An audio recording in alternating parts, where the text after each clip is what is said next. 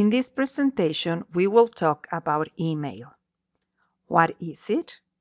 What is needed to use it? And how to write and send emails. Let's begin.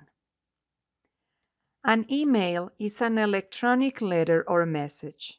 To write, send, and receive emails, you need a computer, tablet, or smartphone, an email account, and access to the internet. There are two ways to have an email account. Creating an internet account from a company like Yahoo, Microsoft, or Google. Or setting up the account included with some internet service providers. A free email like Gmail is yours forever. A paid email address will remain active as long as you keep the service with that company.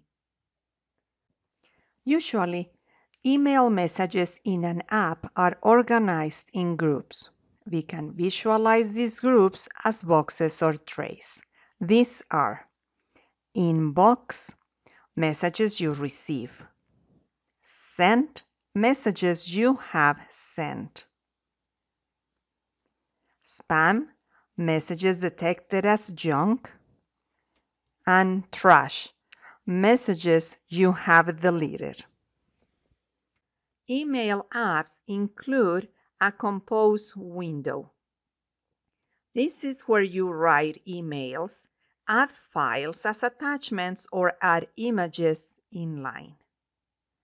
When you created a Google account, you also created an email address. We will now see an example about writing and sending an email from a Google account. Go to mailgoogle.com and type your email address. Click Next. Type your password and click Next. The Gmail app opens. In the left menu pane, click on the Compose button. The Compose window appears. There are three main sections.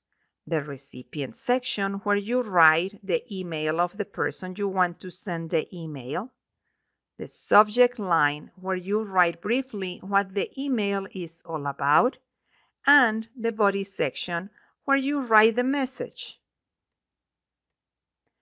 Once you have finished writing your message, click Send. The other person, the recipient, will get your message shortly after, usually within seconds. Make sure you log out of the account once you have finished writing or reading your emails. Finally, the main points to remember are email is an electronic message. You need a computer, tablet, or smartphone, an email account, and internet access to send and receive emails. Email accounts from Google are free forever. This concludes our presentation. Thank you for watching.